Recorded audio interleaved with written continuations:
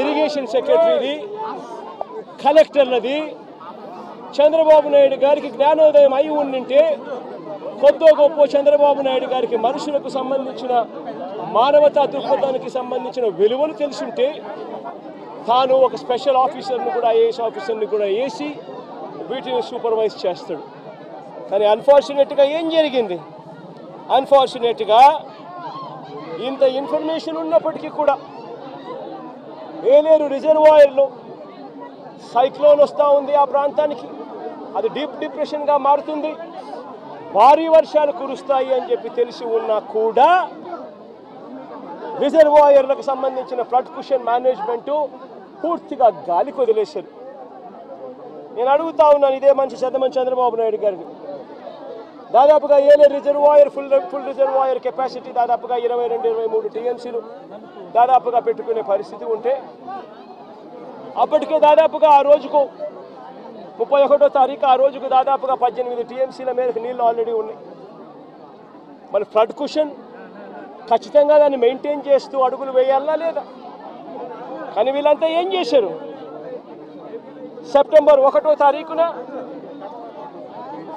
September ఒకటో తారీఖున ఏలేరు రిజర్వాయర్లో ఇన్ఫ్లో క్యాచ్మెంట్ ఏలేరు రిజర్వాయర్కు సంబంధించిన క్యాచ్మెంట్ చూస్తే సెప్టెంబర్ ఒకటో తారీఖున ఏలేరు రిజర్వాయర్కు తొమ్మిది వేల తొమ్మిది వందల యాభై క్యూసెక్లో ఇన్ఫ్లో ఇన్ ఇన్ఫ్లో వచ్చింది. మరి బుద్ధి జ్ఞానం ఉన్నవాడు ఆ తొమ్మిది వేల తొమ్మిది వందల యాభై క్యూసెక్లు కిందికి వదిలేయాలి కదా. ఎందుకనంటే ఏలేరు రిజర్వాయర్ కింద అవుట్ఫ్లో కెనాల్ కెపాసిటీ అవుట్ఫ్లో కాలువ కెపాసిటీ పద్నాలుగు వేల క్యూసెక్స్కు కాలువ కెపాసిటీ ఉంది కాబట్టి ఆ వచ్చిన తొమ్మిది వేల తొమ్మిది వందల యాభై క్యూసెక్స్ కిందికి వదిలేయాలి కదా. వదిలేస్తే నీ ఫ్లడ్ కుషన్ అనేది నువ్వు మెయింటైన్ చేయగలుగుతావు.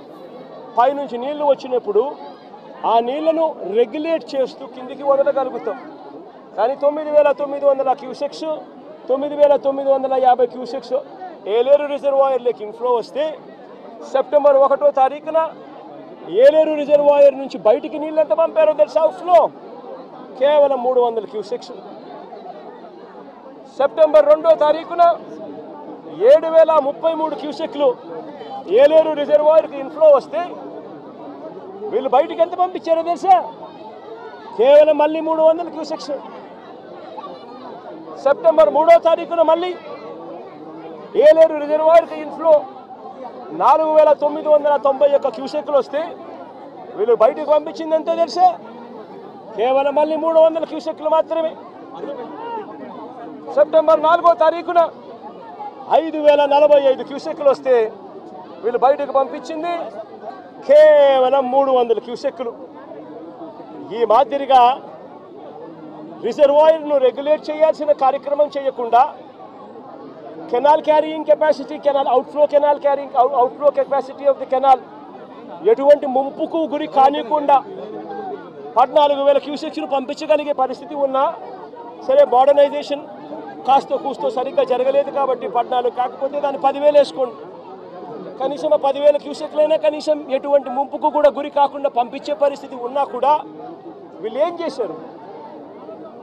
పైనుంచి నీళ్ళు వస్తూ ఉన్నా కూడా ఏ మాత్రం కూడా లెక్క పెట్టకుండా నిర్లక్ష్య వైఖరితో కేవలం మూడు వందల క్యూసెక్లు మాత్రమే వదల వదల మొదలుపెట్టారు ఇలా వదిలిపెడుతూ వదిలిపెడుతూ ఏకంగా తొమ్మిదో తారీఖు వచ్చేసరికి రిజర్వాయర్లలో స్టోరేజ్ కెపాసిటీ పూర్తిగా నిండిపోయింది. స్టోరేజ్ కెపాసిటీ పూర్తిగా నింపేశారు. వదలాల్సింది పోయి మెయింటైన్ చేయాల్సింది పోయి పూర్తిగా నింపేశారు.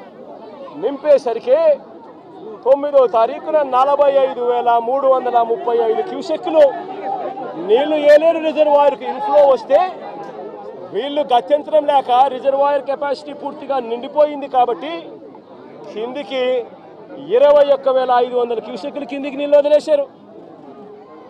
మరుసటి రోజు సెప్టెంబర్ పదో తారీఖున ఇరవై ఆరు వేల నూట ముప్పై నాలుగు క్యూసెక్లు నీళ్ళు ఏలేరు రిజర్వాయర్కి వస్తే ఏకంగా ఇరవై ఏడు వేల రెండు వందల డెబ్బై ఐదు క్యూసెక్లు నీళ్ళు కిందకు వదిలేశారు. నేను అడుగుతా ఉన్నా మిమ్మల్ని ఇది మ్యాన్ మేడ్ ఫ్లడ్ కాకపోతే ఏమిటయ్యా అని చెప్పి.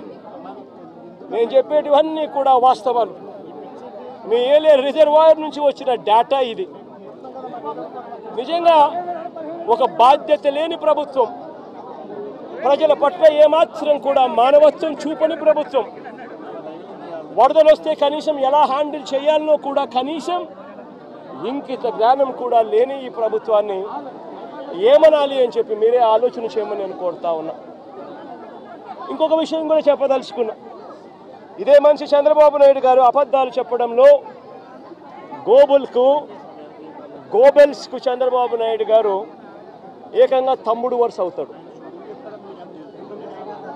గోబెల్స్కు చంద్రబాబు నాయుడు తమ్ముడు వరుస అవుతాడు.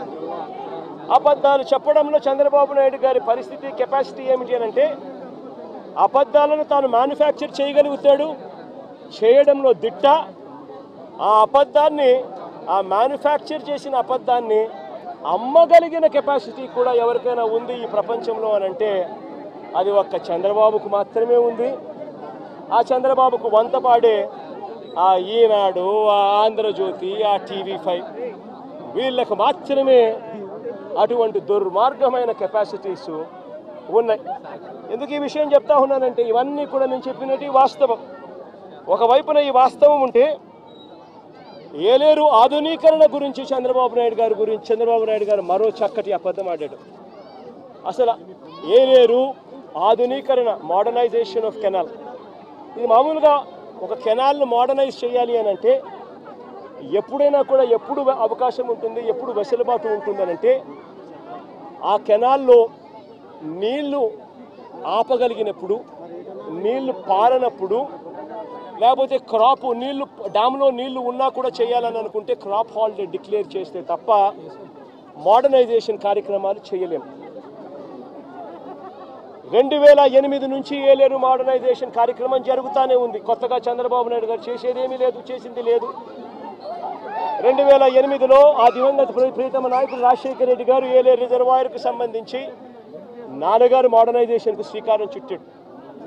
అప్పట్లో నూట ముప్పై ఎనిమిది కోట్ల రూపాయలు కేటాయిస్తూ ఆ దివంగత నేత ప్రీతమ నాయకుడు రాజశేఖర రెడ్డి గారు నాన్నగారు ఏలేరు కెనాల్స్ ఏలేరు కెనాల్కు సంబంధించిన మోడర్నైజేషన్ కార్యక్రమం చేపట్టాడు.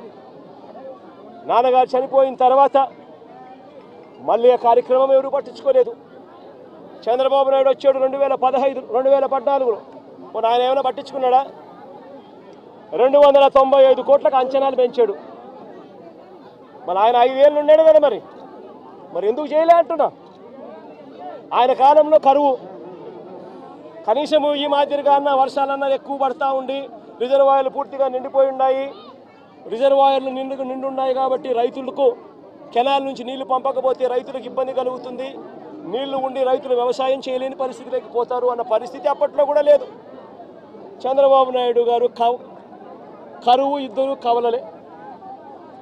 ఆ చంద్రబాబు నాయుడు గారు ఐదు సంవత్సరాలు కూడా పరిపాలన చేశాడు. అంతా కరువే. మరి రెండు వందల తొంభై ఐదు కోట్లకు రూపాయ కోట్లకు అంచనాను ఆయన పెంచిన వ్యక్తి ఐదేళ్ళు టైం ఉన్నది. రెండు వేల పదహైదు ఏప్రిల్లో అంచనా అంచనా అంచనా వ్యయాన్ని వ్యయాన్ని రెండు వందల తొంభై ఐదు కోట్లకు కమిషన్ల కోసం పెంచాడు. మరి పెంచిన ఆ వ్యక్తి ఎందుకు చేయలేదని అడుగుతా ఉన్నా. రెండు వేల ఎనిమిది నుంచి రెండు వేల ఎనిమిది నుంచి రెండు వేల ఇరవై మూడు దాకా అంటే మా ప్రభుత్వం దాకా కూడా. ఇంకా మా ప్రభుత్వంలో వైఎస్ఆర్సీపీ ప్రభుత్వంలో ఇంకా చేయలేకపోయే మోడర్నైజేషన్ అనుకున్న అనుకున్నంత వేగంగా అనే దానికి కారణమన్నా ఉంది. కారణం ఏమిటంటే ప్రతి సంవత్సరము బ్రహ్మాండమైన వర్షాలు పడతా ఉన్నాయి. రిజర్వాయర్లు పూర్తిగా నిండున్నాయి.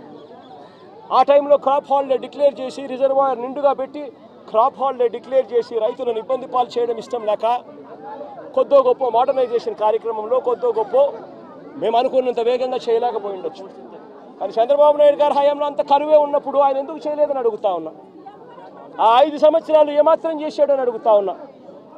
రెండు వేల ఎనిమిది ఆ దివంగత నేత ప్రీతమ నాయకుడు రాజశేఖర రెడ్డి గారి హయాం నుంచి రెండు వేల ఇరవై మూడు రెండు వేల ఇరవై మూడు ఇరవై నాలుగు జగన్మోహన్ రెడ్డి గారి హయాం వరకు జగ జగన్ అంటే జగన్ హయాం దాకా మధ్యలో చంద్రబాబు హయాంతో కూడా కలుపుకుంటే కూడా ఇది కెనాల్ మోడర్నైజేషన్ కాబట్టి పంటలు అప్పుడప్పుడు ఆపుకుంటూ క్రాప్ హాలిడే డిక్లేర్ చేస్తూనే మోడర్నైజేషన్